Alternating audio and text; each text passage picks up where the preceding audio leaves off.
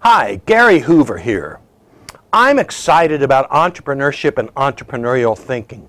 I think they're important in all aspects of society, in government, in nonprofit organizations, for-profits, big enterprises, old enterprises, young enterprises, small enterprises, Asian, European, American, all types of enterprises, of people working together to accomplish something. That's how I define an enterprise. And and, and I teach and preach entrepreneurial thinking, but one thing that really comes up is what is entrepreneurship? What is it all about? And I've seen people, um, uh, when I served as entrepreneur in residence uh, a year or so ago at the University of Texas Business School, the McCombs Business School, people would come into my office and they'd have different ideas about entrepreneurship, and a lot of times I think they were missing the point. One thing I'd see a lot is I'd say, why are you here? What is it you want to achieve in your life? First question. And they'd say, I want to get rich. And I'd say, that I can't help you.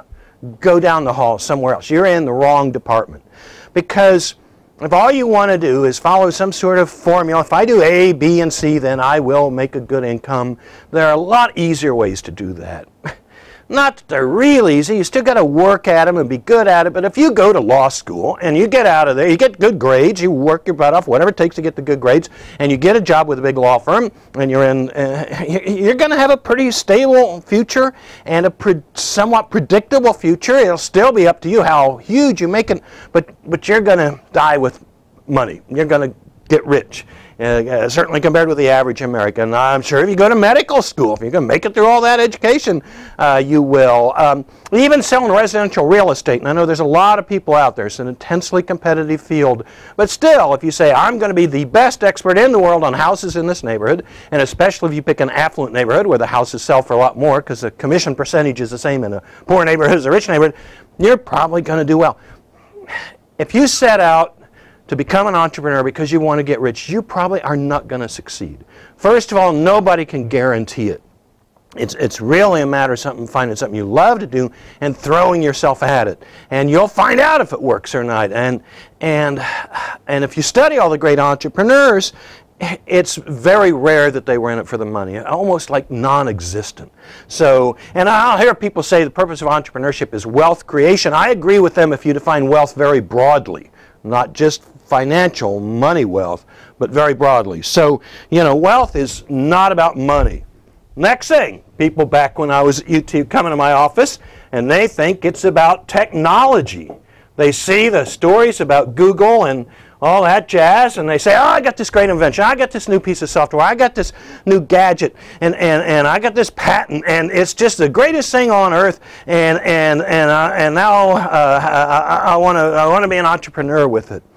And if you study the great, even the great technology leaders like the Watsons that built IBM, they were not obsessed with having the fastest, best technology. They were obsessed with what served people the best. And they used technology towards that end. And so many times the young technologists come to see me and they got this great thing that they think's exciting. They haven't talked to any customers. They haven't been out there in the real world uh, uh, learning how do customers think and what are they looking for. So it isn't about technology. That's not the core. You may need money and use money in an enterprise. You may need technology and use technology, and you probably will in an enterprise. That's not the guts of it. The third thing, people come in sometimes, or I talk to economic development people and stuff, think it's about creating jobs. So we'll, we'll have a lot of entrepreneurs so we can create a lot of jobs in society. And we want to find people that want to create a lot of jobs.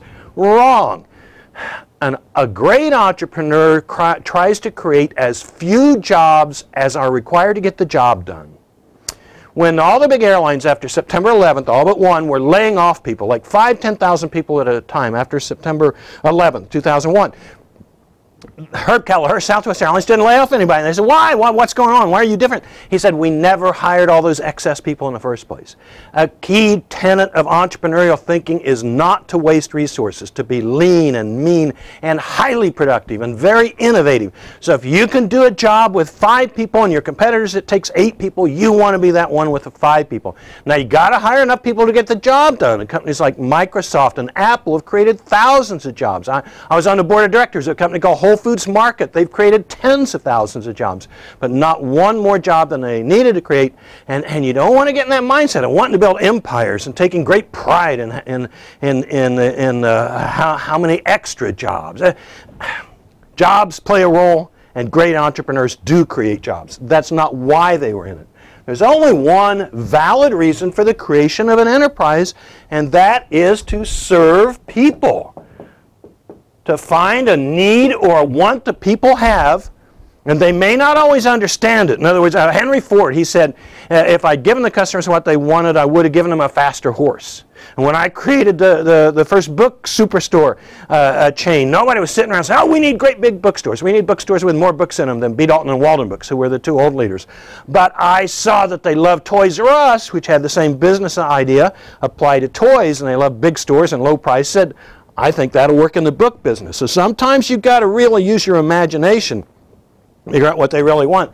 But it's about serving people. And if I were to come up with a single definition for entrepreneurship, I would say it's achieving satisfaction by serving others innovatively, with innovation. Now, now, key thing in there is the achieving satisfaction because you've got to love it too. You've got to get great joy out of it. It's just too hard to work not to. I've got friends spent their whole life in public service or whatever you want to call it, but like, oh, I'll lay down in front of the, the bus for everybody. I'll do whatever you need. I'm totally selfless. Most of those people by my age are not very happy because they haven't given themselves anything. At the same time, my friends whose lives have all been about themselves and how big their car is and how big their house is and all that jazz. And there's nothing wrong with big cars and big houses, but when it becomes the central tenet of your life, those people are not very happy either. And a lot of them have got ex-wives and ex-husbands and kids they don't know. No. Successful entrepreneurship is about serving yourself and serving other people at the same time and finding that sweet spot where your passions and your interest intersect with the real needs, the real wants of real people. That's what entrepreneurship is all about. This is Gary Hoover, and I'll see you later.